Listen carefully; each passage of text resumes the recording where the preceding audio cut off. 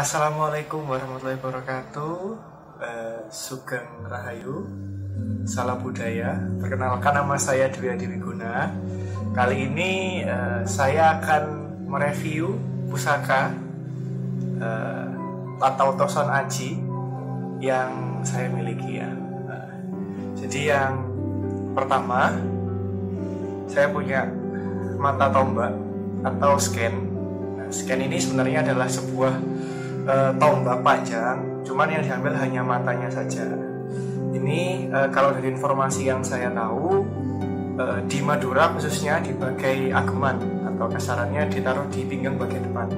Kalau di Cirebon uh, ageman ya sama. Jadi uh, fungsinya adalah sebagai pelengkap berbusana dan sebenarnya mata tombak ini memiliki filosofi-filosofi khusus yang nantinya akan saya jelaskan. Mari sama-sama kita buka ya. Ini adalah uh, tombak panggang lele. Dan kalau dari segi bentuknya memang bentuknya berliku-liku. Uh, tombak panggang lele ini diciptakan untuk pusaka memang jadi bukan untuk bertarung. Jaringan kebak uh, yaitu sebagai sebuah simbol bahwa seseorang yang membuat atau memiliki tombak ini memiliki cita-cita uh, ke depannya mempunyai berdaringan kebak atau lumbung padi yang penuh atau senantiasa memiliki rezeki yang cukup.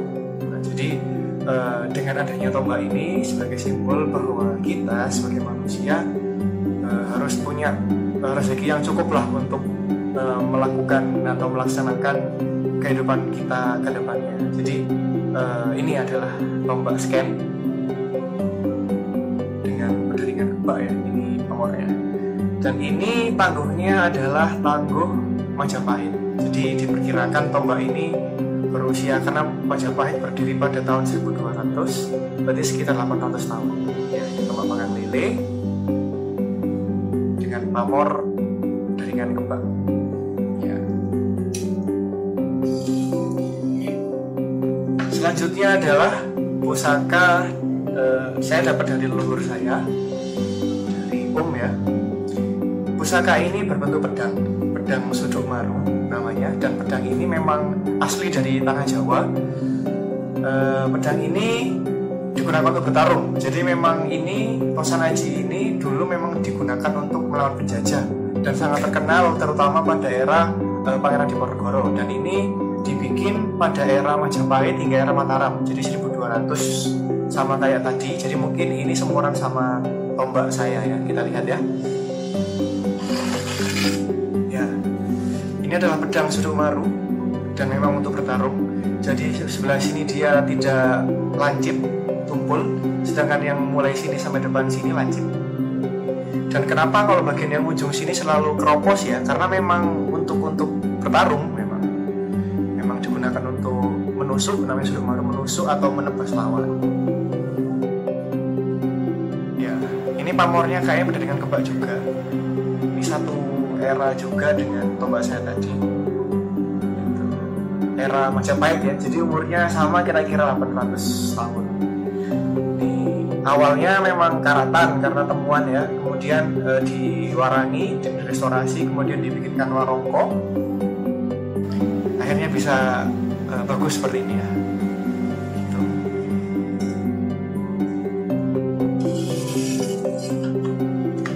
Oke, selanjutnya yaitu ini apa ya kesayangan saya ya.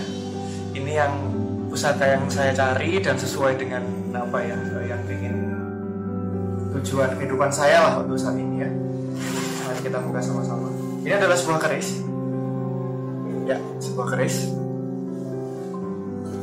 Uh, ini warakannya waraka ladrang Surakarta Pebrangga ya Ladrang ya Surakarta Ladrang Capu ini pendoknya pendok dewa dari kuningan ya kayaknya atau tembaga ya kuningan. Nah, kita buka. Ya. Ini adalah keris dapurnya sengkelat. Dari sengkelengati atau kasarannya eh, kegundahan hati Empu Supo waktu itu yang bikin tapi ini uh, bukan bukan dari beliau cuman memang pakemnya dari uh, sengkelat gitu kan.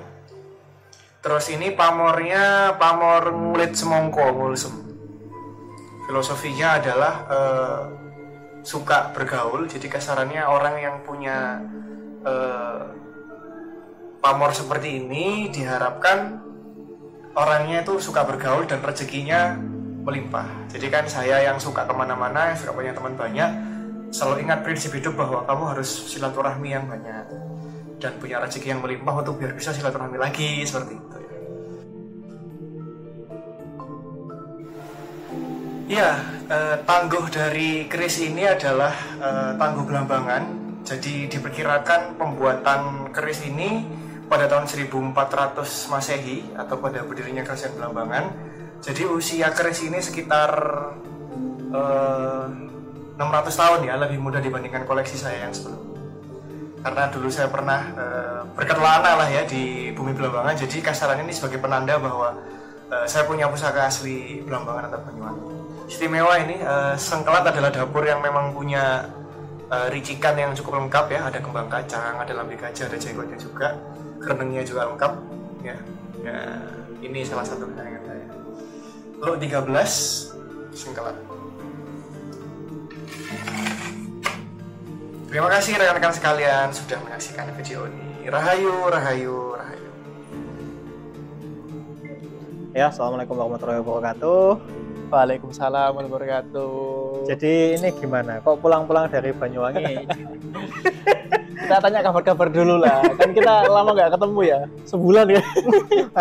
Masih sebulan lah. Iya ya di rumah Lutfi yang kita ke sana malam-malam kamu pakai baju full set lengkap. Iya. Samsudin Junior. Dipikir mungkin ini ada acara apa gitu kan di rumah Lutfi. Ya, gimana iya. kabarnya? Sehat ya? Alhamdulillah alhamdulillah. Ini kita sekarang di ya tempat saya lagi cekap proyek iya. Di ya ini kebetulan ada salah satu lokasi yang cukup mendukung dengan tema yang akan kita angkat yep. hari ini. Jadi monggo mungkin Mas Dwi perkenalkan diri dulu aja. Ya, jadi mungkin teman-teman jangan bosan ya uh, saya di sini kan udah berapa kali di podcastnya Farid perkenalin uh, namaku Dwi Adi Wiguna bisa dipanggil Dwi, uh, bisa dipanggil Adi juga. Saya temannya Farid dari kampus yang sama, fakultas yang sama dan jurusan yang sama. Nah, ya itulah. Kalau dulu kan saya tampilnya kan uh, masalah kuliah ya kuliah. Nah. terus habis itu bahas masalah kerja. Kalau sekarang bahas masalah hobi. Oh. Hobi yang aneh ya. Hobi yang ya tentunya di untuk di umur umur saya ya mungkin di, ya. oh ya untuk kalangan. Kalangan.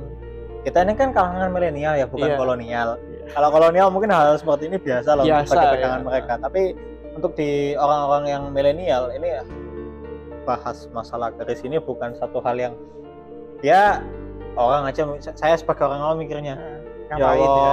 enggak sih. Ini duit ini masuk padepokan apa gimana gitu. Itu serius itu pertama kali yang saya pikirkan. Dan itu aku kasan-kasan sama lu sih. Kan cowok. Murid kak ngerti. ya wis gitu ya. Monggo monggo.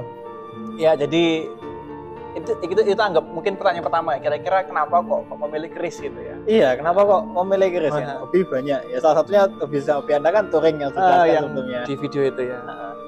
Jadi ya teman-teman hobi saya itu banyak. Uh, saya suka touring suka camping juga. Timur timur bereaksi ya mau anu menyesuaikan dengan apa yang dibawa ya. Lo kan. Ya udah lanjut ya, aja jadi apa, -apa. Uh, nah salah satunya sekarang adalah uh, kolektor keris atau sanaji ya. Nah, kenapa kok keris? Kenapa nggak benda yang lain gitu kan? Kan hmm. bisa koleksi apa ya, Pokemon ya, atau kartu koleksi Yu-Gi-Oh, action figure. Action figure. Nah. Ya, kalau ya hobi-hobinya kaum kaum Hot Wheel Hot Wheel ya, biasanya kan gitu kan sebenarnya sih kalau dari segi teknis sama gitu. maksudnya nggak nggak ada perawatan khusus. Misalkan ada kok oh, kalau punya keris harus ini nggak ada. Sebenarnya ini benda yang sama. Cuman kan mungkin kalau teman-teman ini saya nggak menyalahkan kolektor-kolektor uh, benda lain ya kan. Hmm. mungkin misal nih dia suka One Piece dia akhirnya kolektor koleksi action figure One Piece. Karena suka sama ceritanya. Nah sama. Sebenarnya kalau untuk keris ini ini tuh ada sejarahnya ada legendanya. Nanti tak uh, sharekan anak ini ada beberapa keris yang saya bawa dan punya cerita masing-masing. Jadi iya. misal kalau tokoh di action figure itu juga ada ada ada kisahnya kan sama hmm. ya ada background story-nya ya kenapa kok keris kembali lagi yang tadi awalnya itu bulan apa ya haji kemarin sih orang tua saya kan haji hmm.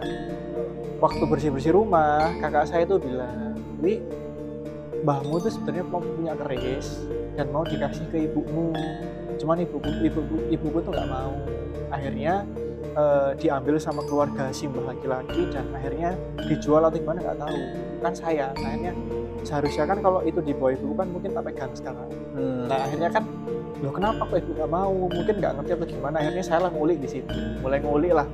Kenapa sih kok keris itu kesannya kok mistis? Berawal dari warisan yang tidak sampai ya? Betul. Ada warisan yang seharusnya saya pegang cuman nggak nggak sampai. Dan karena awalnya keluarga saya itu yang ibu kan dari Tulungagung itu masih uh. memegang erat budaya Eropa. Oke. Okay. nggak budaya Jawa lah. Jadi kasarannya kalau mau dekat sama lawan jenis harus mau nikah ya harus lihat fotonya bahkan kemarin waktu aku mau ke rumah calon mertua itu dilihat tanggalnya. Awalnya kan hari minggu.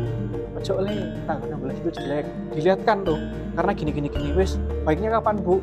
Hari Sabtu. Soalnya gini gini gini. Wes saya kan aku emang sowan ya ya padahal aku sih intinya uh, memang itu itu karena memang kekinian ibuku terserah. Cuman aku mikirnya biar dapat restu orang tua aja sih. Iya ibuku ya. merestui hari Sabtu ya wes ya. Berarti kan hmm. yang penting orang tua saya lega ya saya berangkat bagi saya semua hari baik cuman ya intinya untuk mendapatkan restu dari orang tua kan kejawen mau nggak mau saya harus belajar dong. Dan hmm. keluarga dari Ngawi juga orang kejawen juga. Tuh makanya saya belajar kres dan ternyata semakin saya pelajari itu oh ada apa ya semacam keunikan-keunikan lah dan kita harus bangga karena pada tahun 2019 UNESCO sudah menetapkan keris itu menjadi warisan budaya bangsa Indonesia. Jadi di karena keris ini banyak Arit, ada di luar negeri itu ada di Filipina, di ya. pokoknya Asia Tenggara, di kultur Malaysia, in, kultur Indochina dan Melayu ya. itu ada barang yang serupa walaupun ya mungkin namanya sama juga ya, karena dulu Majapahit pernah seluas itu kan wilayah kekuasaannya dan memang dari buku ini eh, keris-keris yang dipakai pakaian ada di Malaysia di mana itu sebenarnya memang awalnya dari Jawa dari Majapahit dan memang hmm. penyebarannya dari Majapahit karena kan kita tahu sendiri penyebaran apa wilayah kekuasaannya Majapahit kan besar ya. sekali karena senjata tradisionalnya Sriwijaya bukan keris ya betul karena sebenarnya ini tuh bukan senjata sih kalau dibilang apa ya hmm. ageman atau pelengkap busana hmm. tapi kalau lebih dalam lagi sebenarnya sih apa ya simbol-simbol cita-cita sih makanya memang kalau memang senjata ya kayak misal celurit tombak itu kan setiap hari selalu diasah biar hmm. tajam hmm. tapi ini sekali dibuat sekali diasah dibikin sampai sekarang pun nggak bakal diasah lagi karena memang nggak digunakan untuk bertarung sebenarnya memang kondisi tertentu mungkin ketika senjata semua sudah habis ada di catatan sejarah ya senjatanya tinggal ini ya udah ini dipakai tapi sebenarnya ini bukan senjata utama cuman pelengkap busana lah jadi uh, ke sini uh, mungkin perlu diklarifikasi dia lebih ke ornamental ya bukan betul, fungsional betul. sebagai senjata betul kalau fungsional mungkin 10% dan ketika kepepet sih iya sama kayak uh, kalau kita pelajari karena saya kan juga uh, sedikit banyak belajar tapi saya lebih ya kembali lagi back to interest ya. Iya iya. Saya kan uh, ini kalau saya mengamati yang kulturnya ini kulturnya sel kulturnya Celtic sama Balkan. Oke okay, oke okay. Celtic oke. Okay. Celtic Skandinavia sama Skandinavia ya. Okay. Nah, Skotlandia sama ya Skotlandia aja ya sama Balkan itu kan memang ada senjata yang senjata itu misalnya dibawakan dari kepala suku ke ini dan sebagainya. Sebagai tanda Sebagai ya? tanda. Jadi ada senjata kalau misalnya ya mungkin kalau sekarang sudah banyak ya sudah banyak dibahas film-film film-film klasik mungkin banyak yang tidak memperhatikan settingnya di sini senjatanya ada beberapa hmm. itu yang satu itu ornamental yang menunjukkan bahwa dia statusnya sebagai panglima sebagai legitimasi ya pengakuan ya legitimasi, legitimasi dari misalnya dia ada tugas di sini kadang yang dipegang untuk yang legitimasi itu ada yang untuk surat tugas itu beda hmm. senjatanya biasanya yang bukan senjata fungsional terlalu panjang biasanya belati panjang sekitar 15 sampai 20 yeah, cm. Yeah. Model ya belatinya macam-macam lah. Dan ornamentalnya banyak. Beda dengan senjata yang dia pakai sendiri itu biasanya pedang agak panjang. Kayak gitu. Jadi ya mungkin itu barang ornamentalnya ada sendiri, senjatanya ada sendiri gitu. Dan keris pun sama. Keris Jadi sama, kadang ya. itu untuk nah ini namanya singap ya, penutupnya keris namanya singap. Ini hmm. memang ketika zaman dulu untuk surat mandat. Jadi kasarannya kalau ada utusan raja mau ke kerajaan lain, mana tandanya buktinya kamu sebagai raja uh, dari kerajaan ini? Bawakanlah keris-keris uh, kerajaan. Dan yang boleh membuka hanya raja yang bersangkutan. Bahwa ini loh bukti sebagai surat mandat bahwa ini utusan dari raja mana. Hmm. Dan memang ini uh, saya juga uh, baca dari bukunya HB Sultan Hamengkubuwono 9 tanda bahwa uh, seorang bapak menyerahkan tahta atau sebagai mengangkat anaknya sebagai seorang raja adalah ketika beliau menyerahkan keris uh, punyanya beliau ke anaknya. Jadi sebagai ini loh, le, wis wayahmu jadi, waktumu jadi untuk seorang raja ini sebagai tanda. Jadi sebenarnya kedudukan keris seperti itu guys. Jadi sebagai sebuah simbol sih, sebagai ornamental. Iya ornamental. Tuh. Mau tanya apa lagi? uh, jadi kalau uh, memang sejarahnya di Indonesia mungkin ada di buku ini ya. Hmm, hmm. Ya kalau saya boleh tahu mas, ini kurang lebih uh, review kasar lah sinopsisnya tentang buku ini tuh bahas tentang apa? Jadi Dengan kalau untuk, untuk masalah buku keris itu banyak banget. Uh-huh. Ini memang satu dari sekian banyak buku yang tak yang tak baca. Cuman hmm. kalau ensiklopedi keris ini ternyata setelah saya baca itu adalah istilah perkerisan dari huruf A sampai Z. Misal ada istilah mungkin uh, nogo sosro maksudnya itu apa sih jadi kasarannya hmm. uh, kosakata kosakata atau bahasa Inggrisnya apa sih itu kosakata itu uh, itulah kosakata kosakata perkerisan yang mungkin teman-teman bingung bisa baca di ensiklopedia keris tapi banyak buku-buku vocab. Ya vocabulary keris perkerisan. Tapi ada juga buku yang membahas tentang kasarannya bagaimana cara membuatnya terus kasarannya ini keris itu jenisnya ada apa aja tangguh itu ada tangguh itu uh, kalau mungkin teman-teman yang belum tahu tangguh itu adalah perkiraan dibuatnya atau kasarannya keris ini itu dibuat pada era kerajaan mana itu namanya tangguh itu ada sendiri bukunya. Jadi sebenarnya bukunya banyak sekali. Tapi kalau ini itu intinya lebih ke vocabulary tentang kekerisan itu banyak. Itu sih. Oh, dan memang ada beberapa satu dua membahas tentang sejarah dan uh, kasarannya tentang fisik. Cuman kasarannya lebih ke istilah-istilah sih. Gitu. Hmm. Kalau yang lengkap kasarannya urut itu di buku lain dan masih nanti berusaha tak tak cari ya karena lumayan harganya. Siap. Tujuh ratus ribu bro, yang Chris Java itu itu bagus tapi memang yeah. buku itu memang karangan orang Indonesia asli. Dan kenapa sih aku kok baca buku? Karena memang ada ketika kita ngobrol sama pecinta keris itu ada mana yang berbeda itu wajib wajar lah. Cuman kan kita kan kasarannya ya ikut mazhab mana ya, lah ikut ikut yang mana cuman karena buku ini gini jadi kasarannya biar kita itu nggak terpaku sama satu perspektif gitu oke okay.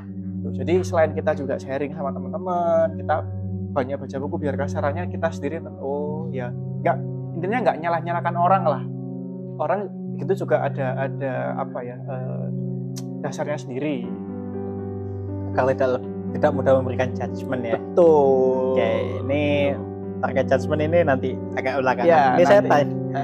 Soalnya ya tahu sendiri lah, kayak begitu. Uh. Nah ini ada lima buah ini kan ya. Oke, mau dibuka satu-satu ya? Ya mungkin bisa diceritakan dikit lah.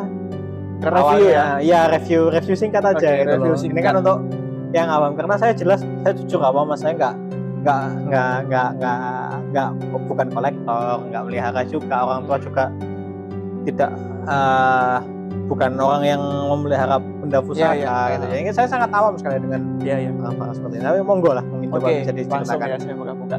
Okay. Ini kalau ini memang senjata, bukan keris ya. Ini namanya pedang, pedang suduk maru. Kasarannya ini orang Jawa pakai ini sebagai perang. Eh, sebagai okay. senjata perang memang. Senjata perang ya, ya yang ini real. Jadi memang untuk membunuh, untuk untuk untuk namanya suduk maru kan untuk menyuduk ya. Stepper lah ya. Ya, stepper. Nah. Dan uh, ini memang dari leluhur saya, dari Pak Ade saya, mertuanya beliau dapat ini, terus kemudian diserahkan sama saya. Awalnya itu karatan nggak nggak nggak terawat gitu kan, akhirnya saya bersihkan, kemudian saya bikinkan tempat. Saya Berarti tempatnya baru? Baru, tempatnya baru. Cuman besinya lama. Ini diperkirakan estimasi era Majapahit, yaitu 1200 okay. Masehi. Berarti umurnya 800 tahunan. Saya buka ya. ya kalau buka itu ada caranya, bukan di Nah ini tak jelaskan dulu ya. Kalau uh, pusaka itu sebenarnya ada adabnya. Itu yang senjata kan ya? Iya senjata. Nah, tapi kasarannya kan ini anggapkan sebagai keris. Jadi kalau buka itu jangan jangan begini, jangan jangan ditarik sininya. Itu berarti simbol bahwa kamu menantang perang. Dan ketika kamu uh, lepas ini dimasukkan sini, otomatis kamu menusuk warangkanya. Makanya bukanya itu uh, diangkat sininya. Set.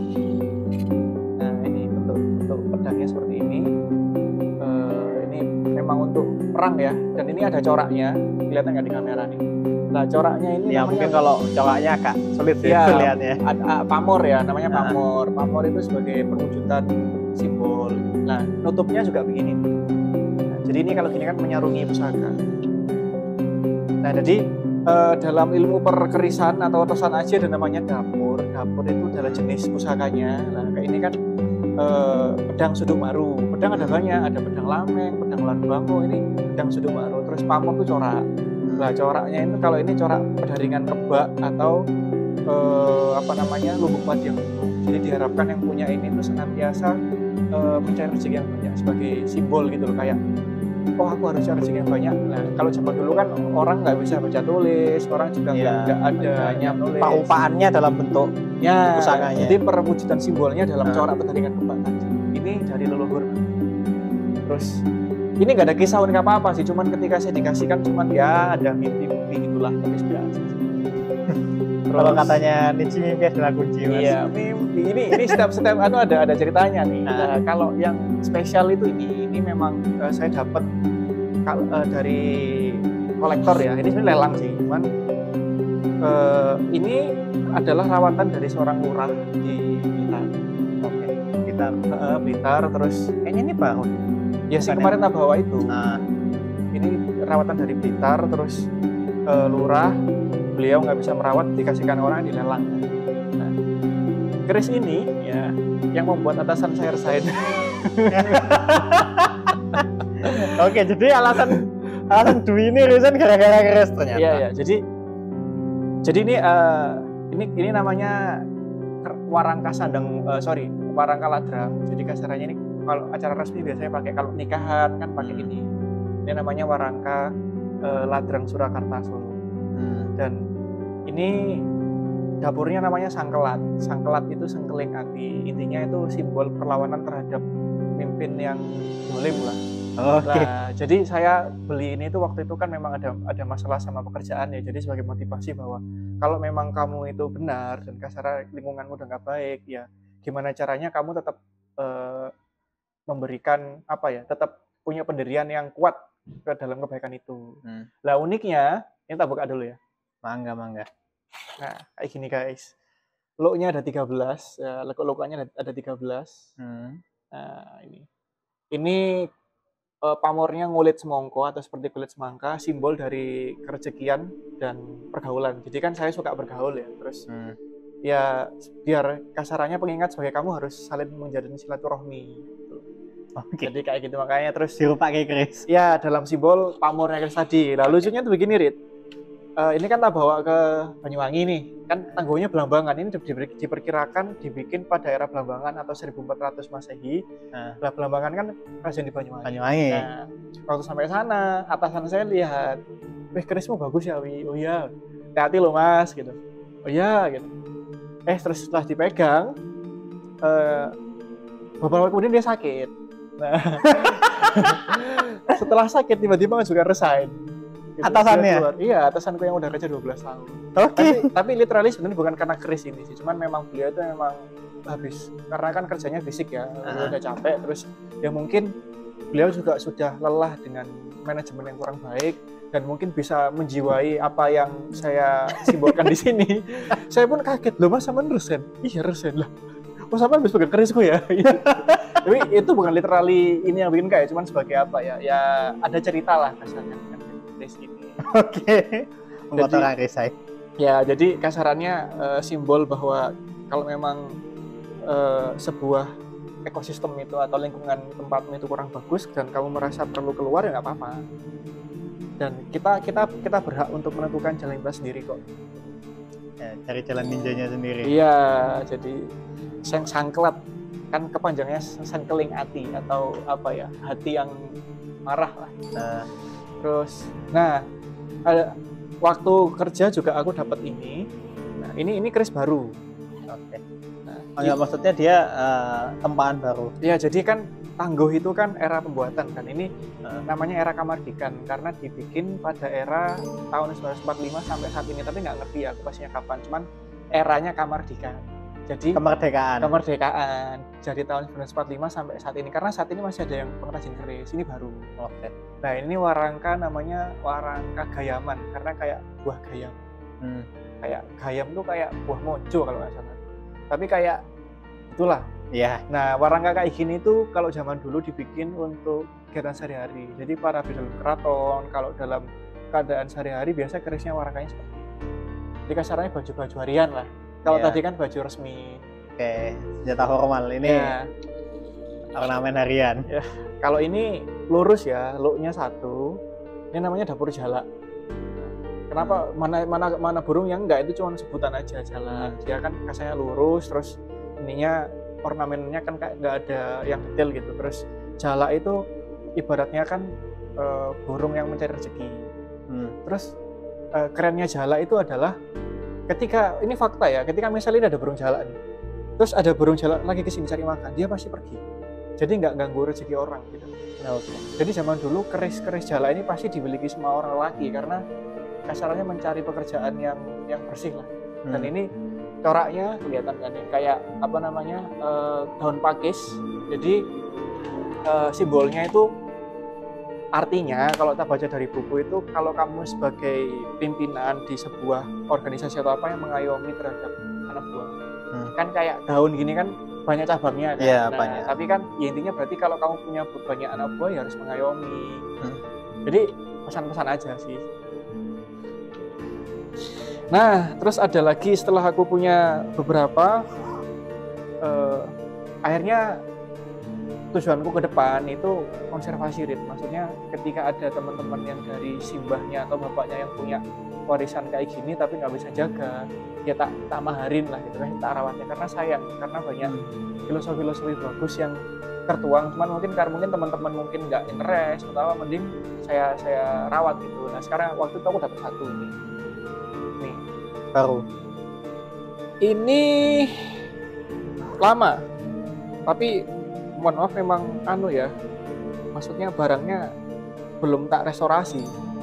Oke. Okay. jadi ditemukan pun di kayak tempat-tempat yang kurang bagus gitu. Jadi dari orang kaya aja kayak gini ya udah lama sekali.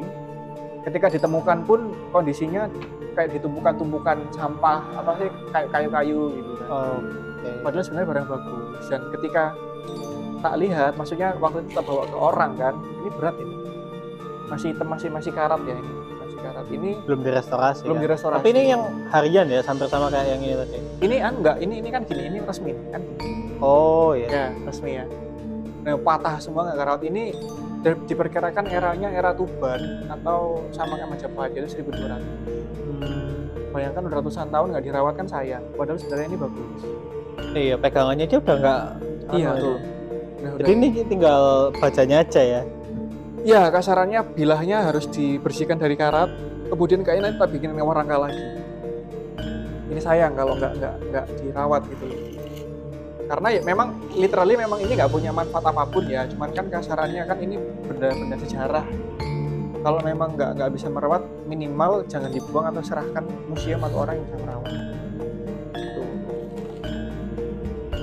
nah yang terakhir ya ini barusan dapat kemarin di lelang amal jadi ada channel YouTube. Nah teman-teman mungkin bisa dibuka eh, YouTube-nya di Etnik Indonesia Channel. Itu ada lelang pusaka ini lelang amal. Jadi waktu itu aku lagi iseng sih. Sebenarnya nggak niat beli cuman iseng-iseng aja. lagi iseng dan lagi, lagi ada duit lebih. Iya ngebit terus dan memang untuk amal kan ya iya. udah yeah. gitu. Terus akhirnya dapet ini kecil ya. Weiss. ini lumayan bagus ya ini kerang eh, Gayaman Solo. Ini ini ada cerita uniknya nih, nanti kita buka dulu ya. Hmm. Ini lognya 9. Lognya ada 9. Wah, bagus ya. Nama dapurnya adalah Kidang, Kidang Soka. Kidang Soka. Kidang Soka. Lognya 9 Kidang Soka. Dia kan ini seperti gini. Kan dia nunduk ya. Hmm. ada condong leleh lah nondo itu sebenarnya filosofi bahwa kita sebagai manusia harus selalu rendah hati hmm.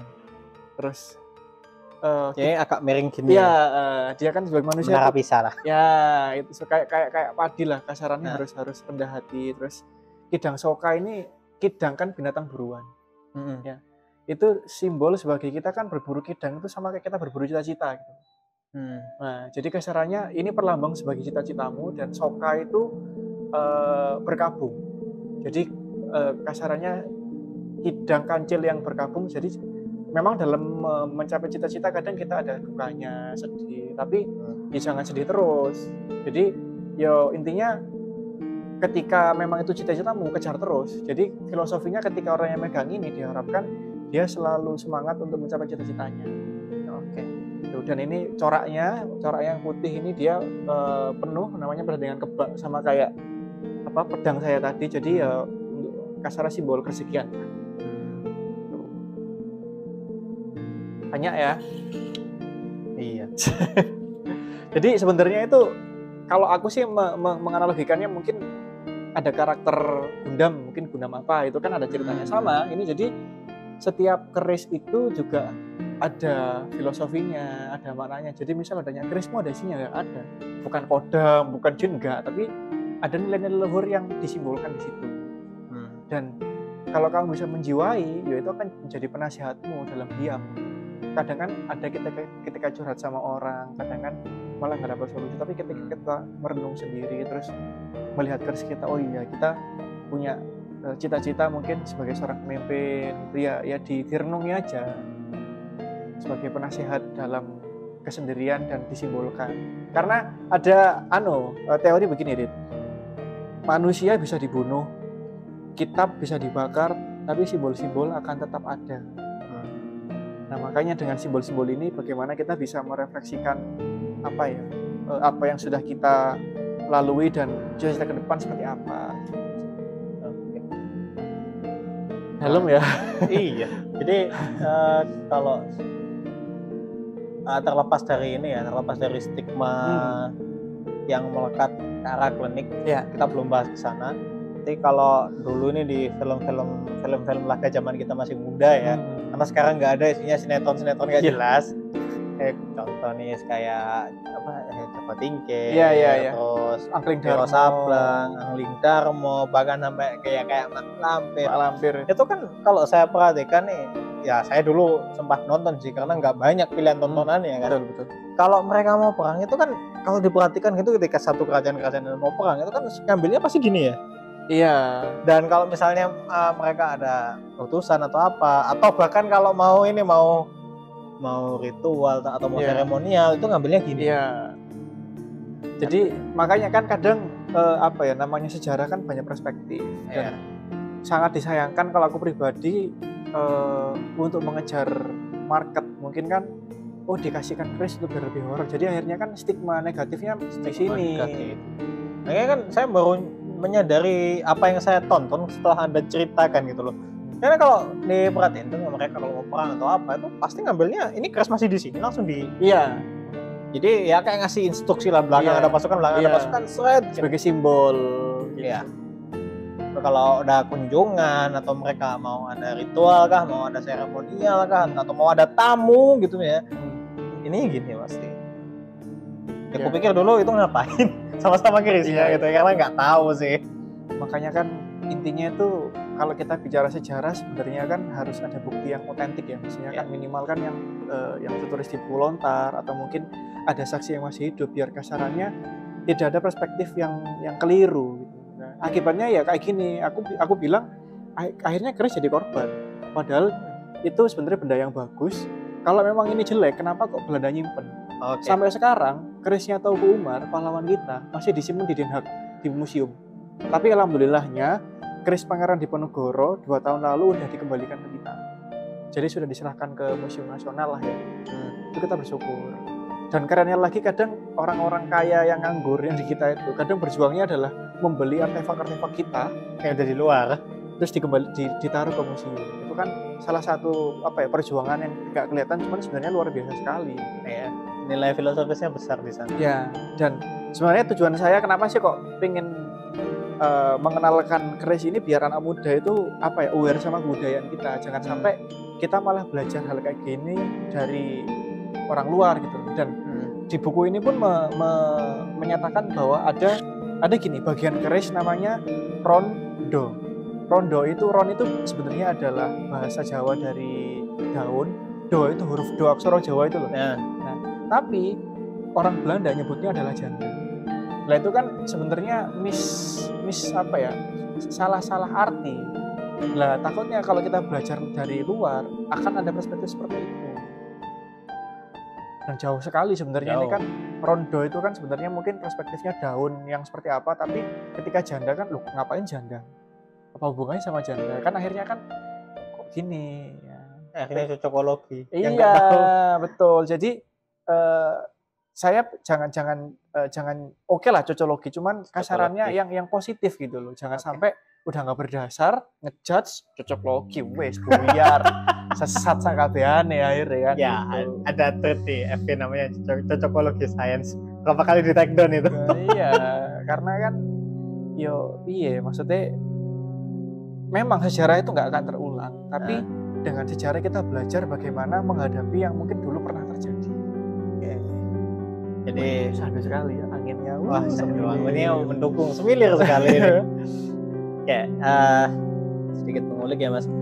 Uh, ini kan untuk kita nih ya di, generasi milenial ya. Hmm. Itu kan sering kali hal-hal seperti ini ya setelah tadi ditahan-tahan ini kayaknya saya tanyakan ya. Iya. Itu selalu didekatkan dengan kegiatan-kegiatan mistis okay, atau okay. apa. Itu sebenarnya uh, fakta sejarahnya seperti apa sehingga itu seolah-olah stigma yang terbentuk sekarang ini di masyarakat adalah barang-barang seperti ini adalah barang-barang yang dekat dengan klene bisnis. Ya? Iya dengan okay. klene. Makanya pun ini nanti kalau pas lu nginep di rumah tanteku jangan main dibuka coy. Enggak, rame nanti. Iya sebenarnya kan ya itu kan sebenarnya karena perspektif saja. Uh -huh. Saya pribadi maksudnya ketika mendapatkan ini awal pun takut jujur awal itu aku dapat uh -huh kok beli ini ya? Masih aku hari ini ya? Gimana? Sampai akhirnya itu tak bacakan apa yang saya baca. Wis yasinan apa? Sampai itu ini ya malam itu aku tuh sholat hajat terus tahlilan. Pokoknya kasarannya apa yang bisa memuatkan saya langsung ya wis kalau memang kamu itu ada sesuatu muncul loh tak taruh di samping bantal saya. Ini nggak ada apa-apa. Dan memang akhirnya aku diberita teman bahwa eh ada ada tem, uh, beberapa tokoh agama yang punya keris. Mungkin teman-teman nanti buka channelnya. Ada Ustadz Faisar beliau adalah ahli ruya sama Ustadz Sarif Afifah nah dari situ beliau juga akhirnya saya belajar bagaimana cara mendudukan keris. Jadi kalau saya sih gampangnya begini. Pistol deh. Ya. itu kan senjata sebenarnya tujuannya kan bukan untuk membunuh orang ya. Tapi karena ada beberapa oknum dan disalahgunakan. Jadinya kan oh, orang bawa pistol itu serem gini gini gini gini. Dan kasarannya eh, bagaimana saya mengkonter mengkonter? Memang saya sampai sampai saat ini masih banyak yang menggunakan untuk sesuatu lah atau apa. Tapi ya gus-gus ya, itulah. Statement saya seperti ini. Jangankan keris ya kamu benda-benda yang sepele misal tanah batu ketika punya role tertentu kan bisa mengakibatkan sesuatu misalkan dikasih apa-apa akhirnya dia ada bilang nanti dikasih jin atau apa itu kan bisa jadi sihir. Jarum aja kan menjadi sihir apalagi benda seperti itu memang kalau dibilang peluang iya bisa. Cuman bagaimana terus kita menyikapinya? Ya kalau saya pribadi sebagai kolektor menjadikan ini sebagai benda biasa. Tidak mendudukan uh, tidak mengagungkan benda ini. Dan kasarannya nggak mengkultuskan tidak mengkultuskan tidak apalagi menyembah ya kalau oh. enggak jadi ya ini cuma barang simbol saja. Dan tidak mengharap manfaat apa pun dari ini. Ya asbunallah wa iya, ya. dan kasarnya gini dah kalau aku kadang menganaloginya seperti ini. Misal ayat kursi nih lukisan nih. Nah. kalau kamu taruh di tempat yang kanker apakah otomatis bisa me menghilangkan jin di situ? Kan nggak mungkin kan harus dibaca.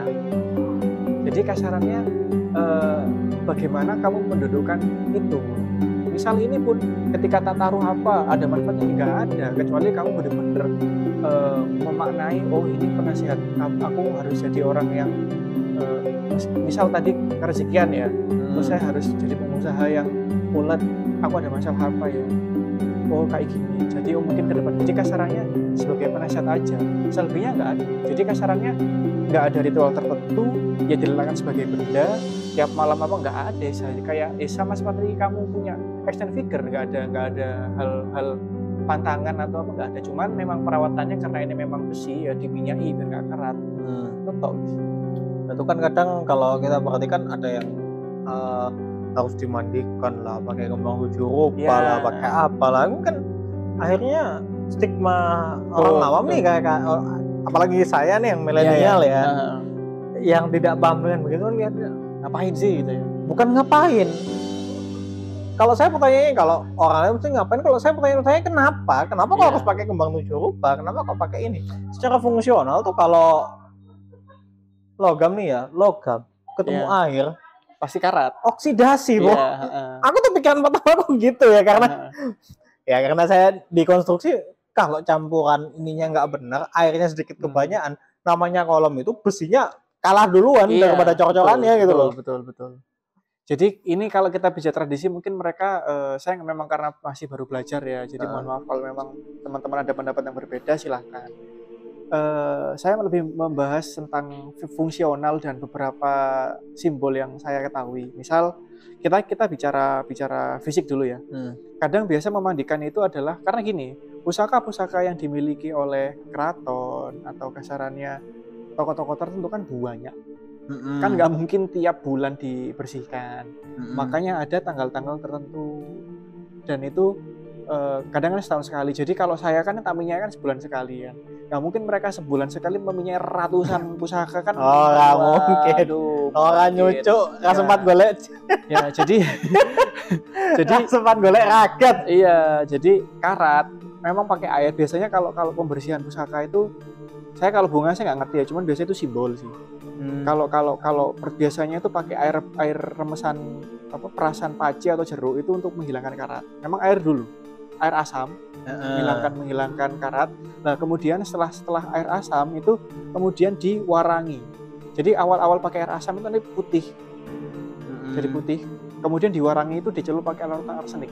Jadi kan komponen komponen keris kan ada besi, ada ada nikel atau batu meteor lah ya. Besinya nanti ketika diwarangi jadi warna hitam, pamornya tetap warna putih. Kemudian setelah dikasih larutan arsenik tadi baru diminyai. Arsenik ya warangan itu batu arsenik lah kasarnya kayak batu dihancurkan dikasih air kemudian kasarannya biar ada semacam coating gitu lah nah terus kemudian kadang kenapa sih dikasih kayak menyan atau apa? Itu, itu sebenarnya bukan biar energi yang enggak. Menyan kan dia kan getah ya?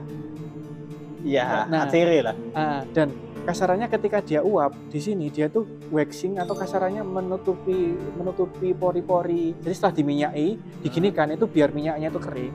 Terus ketambahan eh, kasarannya minyak dari uap tadi itu ke pori-pori yang kecil sekali. Jadi sebenarnya itu untuk perawatan juga secara secara fisik, tapi mungkin ya. secara kultur kadang memang ada ada simbol-simbol tertentu. Misal gini, kalau Kesultanan Yogyakarta setahu saya itu kan satu suro. Satu suro. Ya, terus kalau Kesultanan Cirebon itu eh, kalau nggak salah waktu Maulid Nabi atau apa itu, itu sebenarnya sih gini, itu kan tahun baru ya Nah, itu jadi kalau kita milenial nih kita bicaranya resolusi tahunmu apa ya? Mungkin udah mau tahun baru nih, resolusi 2023 kamu apa? Hmm. Jadi ketika ada momen resolusi tahun depan itu apa, itu diingatkan kembali. Kamu tuh punya pusaka ini. Ilingo, kamu dulu itu punya cita-cita jadi pengusaha. Ilingo, kamu kalau jadi seorang bos harus mengayomi hmm. uh, anak buahmu. Jadi ketika resolusi tahun baru itu ada, kita refleksi lagi. Kita punya cita-cita ini. Jadi sebenarnya simbol-simbolnya tuh itu udah mulai ngantuk ya di oh, iya, ya maklum lah. Kalau yang kemarin itu mode santai ini mode kerja bro. Besok iya. pagi kembali beraksi. Iya iya. Sudah jam istirahat ya jam sembilan ya. uh, apalagi yang perlu kasarannya? Kamu kan sebagai orang awam ya? Iya aku ya kalau aku sih sebagai orang awam tadi sudah ada gambaran-gambaran sudah dijelaskan. Ya minimal ngasih ngasih aku sudut pandang perspektif yang mungkin agak berbeda dengan yang selama ini saya pikirkan ya. Saya pikirkan kan tentu arahnya masih bawa ke klinik karena ya seperti yang anda bilang tadi itu jadi framingnya iya framingnya kuat banget framingnya Misal, kayak gini deh ketika kita dulu lihat film petualangan Sherina ada jeep merah mobil penculik Nah, ya toh. Jadi memang memang framingnya tuh kuat banget. Framingnya kuat itu banget. adalah gini ini adalah barang nih. Mm -mm. Dan ya apalagi di generasi S1 nih minat baca di Wakanda ini cukup Betul, rendah. ya. Nomor dua di bawah ya, nomor dua terbawah ya. Ya gitu lah. Nggak, bukan satu hal yang bisa dibanggakan. minat baca cukup rendah. Sehingga, nah satu minat baca cukup rendah dua katanya mayoritas muslim tabayun kagak judgement iya gitu Iya. gitu jadi endingnya karena ya mungkin balik lagi karena kan sebuah sebuah stigma itu adalah terbentuk dari misalnya ini hal ini salah tapi karena repetitif dan Jadi kebenaran. iya Iya. sehingga eh, karena kan balik lagi kebenaran itu yang mutlak dan hakiki hanya milik Iya. yang kuasa kan Ah, ah, ah. itu mikir kitab dalilnya dalil akli itu Ah, udah itu jelas kebenarannya jelas. udah hakiki lu nggak perlu diperdebatin tapi kan kalau untuk ini uh, instrumental instrumental itu kan memang uh, dia akan terbentuk maksudnya stigma itu akan terbentuk dari Iya. gesekan kiri kanannya sehingga oh ini seperti ini gitu Hmm. Aku sih kalau mentok kasarannya orang-orang mungkin yang muslim itu menganggap itu yang negatif ya. Kenapa kok Pangeran Diponegoro bawa keris? Kenapa Jenderal Sudirman juga di depannya bawa keris? Apakah beliau bukan muslim yang taat? Pertanyaan itu. Itu sebenarnya sebagai simbol bahwa itu dukungan dari keluarganya. Jadi ini loh keluarga saya itu mendukung saya dengan kan itu kan pasti sudah luhur kan. Ini sebagai wujud apa ya eh, bahwa kalau mungkin lagi jatuh lagi diam itu oh saya didukung oleh bangsaku, saya didukung oleh leluhurku bahwa kamu harus berjuang. sebagai bahan renungan kan Betul. Sebagai dan itu sebenarnya nilainya bagus sekali cuma gara-gara framing tadi. framingnya gitu dan orang kadang sering gini kan lu ngapain merenung aja? Ya so, sorry to say ya merenung kosong itu. Kalau merenung kosong emang salah.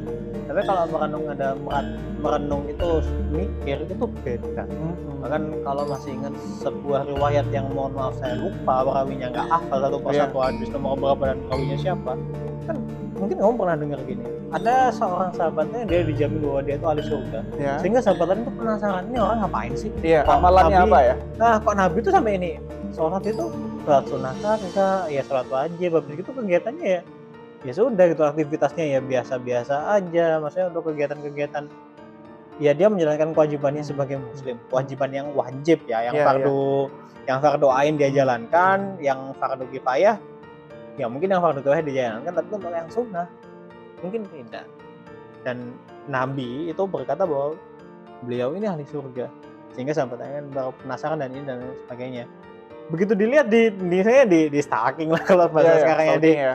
diikutin kesehariannya sahabat tambah bingung ini orang kayaknya nggak ngapa-ngapain gitu loh hanya menjalankan yang wajib aja Iya, normal-normal aja ya. ditanyakan lagi ke Nabi dan Nabi akhirnya memanggil sahabat itu Hmm. ditanya terus suruh tanya sendiri lah gitu loh Iya. kebiasaanmu apa dan dia jawab gini setelah pulang subuh saya pul saya datang pulang dan saya merenung statementnya saya ingat saya seperti dan saya merenung kemudian saya menjalankan semua aktivitas saya dan selesai sebelum tidur dan saya merenungkan lagi apa yang sudah saya lakukan hari ini dan apa yang akan saya lakukan besok Betul, betul.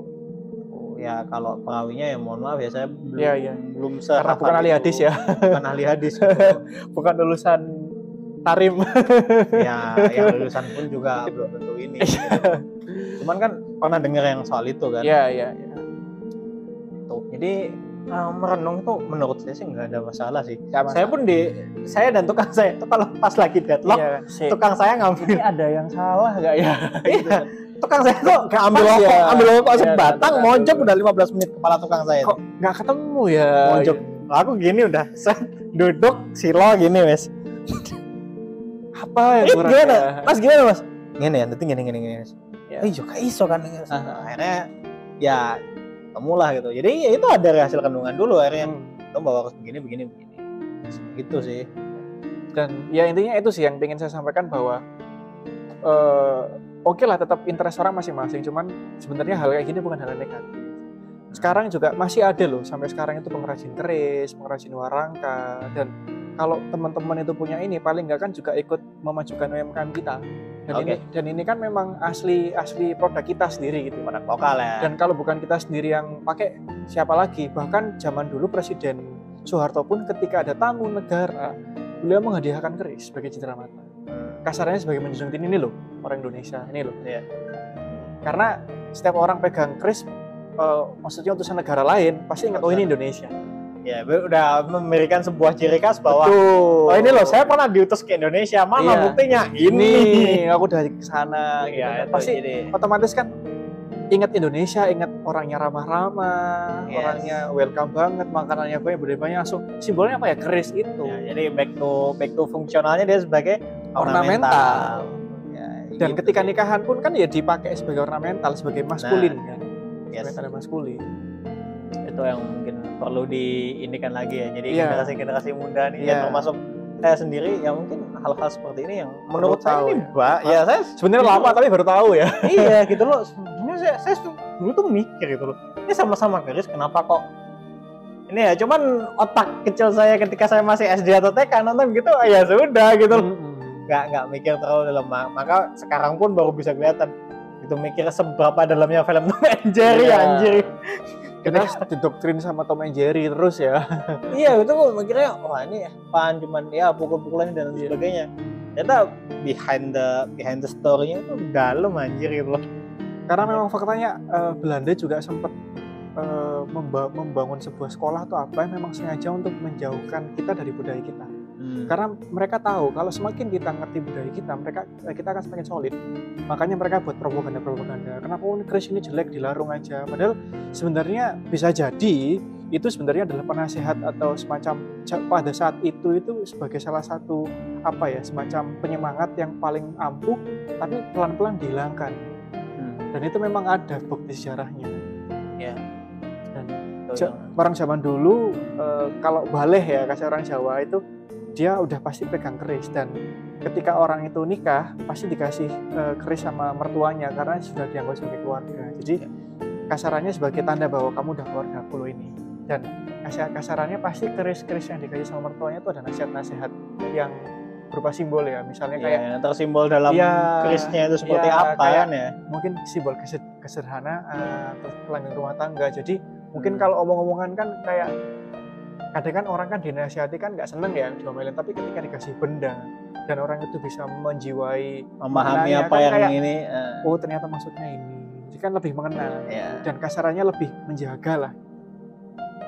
Itu yang mungkin perlu diinikan lagi ya. Diluruskan ya. Perlu di- ya satu perlu diluruskan. Pelurusan sejarah ya. dua ya mungkin perlu diinikan sih. jadi biar biar nggak ya ini mungkin ini bisa menjadi salah satu video edukasi ya walaupun ya ini betul, kita betul betul. kita sama-sama ini belajar lah. kita mesti sama-sama belajar gitu loh. Saya juga awam. Ya Mas Dwi mungkin mengkategorikan dirinya awam. Saya lebih apa lagi? Nggak tahu Iya. apa-apa saya ini. Belum ada setahun saya belajar. Nah, nah ya, maksudnya kan ini paling nggak bisa membuka ini kan ke orang yang benar-benar awam atau nggak tahu seperti saya lah. Ya, ya. untuk bagaimana menyikapinya. Sehingga paling nggak agak mikir dikit gitu itu kenapa kok ada gitu kenapa kok ada gitu kenapa kok ada gitu ya itu sih. Ya mungkin karena ini juga tuh udah ditutup separuh. Ini kayak Oh, kode iya, mau iya. tutup. Ya mungkin teman-teman nanti kalau ada pertanyaan ada satu hal yang ingin di-sharingkan bisa di komen atau mungkin hubungi sama Farid langsung nanti dia bisa tanya ke saya. Atau mungkin Ya. eh, kita bisa ketemu lah mungkin mas saya ada ini mas kita kita nong- nongkrong ngobrol sharing. bisa. monggo monggo ya kayak pertemuan kita yang kemarin itu sama teman-temanku berapa jam nih iya akhirnya sampai kan ganti hari sampai anjir. sampai awalnya dia mau bikin podcast karena kita bahas keris malah gak jadi pulang akhirnya dia akhirnya bikin podcastnya di hari selanjutnya ah ya itu Iya kan. Dan akhirnya dia baru tahu juga, oh maksudnya ini ya. Maksudnya ini kan excited sekali kan temanmu yang di Jember itu kan. ah, ah. Yang yang bahas apa sih masalah. Wahyu ya Ya itu kan. Akhirnya kan saya juga seneng akhirnya dia tercerahkan gitu loh. Oh Nah. gitu. Jadi ya karena dia sendiri kan dia ngerasa bapaknya itu kejawen yang mau melihara Ah. benda-benda pusaka sementara dia sendiri ngomong hmm. kayaknya dari sudut pandang agama nggak bisa nih Iya. jadi nggak masuk gitu loh Kayaknya setelah ya di briefing yang awalnya mau ngobrol endingnya sampai maghrib nggak sih iya, pulangnya ah, maghrib baru pulang. datangnya habis itu pulangnya maghrib gitu loh Udah cerita mas. malah bahas panjang kali lebar iya beres minimal meluruskan perspektif satu Betul, betul. dua yang mungkin untuk dia yang mungkin bagi orang yang nggak tahu nggak akan kerasa tapi bagi dia akan ngerasa bahwa dia akan bisa lebih menghargai orang tuanya Betul, karena betul. faktor apa yang dilakukan orang tuanya gitu betul loh. betul betul. Kasarannya kan apa ya akan lebih arif lebih bijak lagi. ya nah kayak gitu jadi ya memang ya kadang belajar itu ya nabi itu juga sampai dia bisa diterima dia bahkan dijelekkan di kaum Iya. sendiri betul. ada berapa berapa kali ini berapa fase kan dia sampai sebelum jadi perasa dia dipasrahi sebuah negara atau ada sebuah bani kaum yang memberikan kekuasaannya sehingga beliau punya kuasa sehingga beliau luas bisa melakukan ibaratnya dakwah itu ada jenjangnya gitu kan. Tiba-tiba ya. langsung minta kekuasaan ya, enggak. betul, betul. ada jenjangnya gitu loh. Mulai dari holako kecil besar terbuka. Setelah terbuka baru memohon kekuasaan. Itu pun ada yang diterima ada yang tolak ya. Itu dinamikanya ya gitu. wajar. Kita nggak memaksa juga kan? Nah, sampai akhirnya di Madinah kan ada yang berkenan untuk memberikan kekuasaannya. ya udah monggo silahkan Iya sih, maksudnya sebenarnya tujuan saya itu saya hanya meluruskan dan nggak memaksa orang agree sama pernyataan saya dan kalau memang teman-teman masih nggak serak sama ini ya nggak apa-apa saya nggak memaksa yang penting okay, gitu.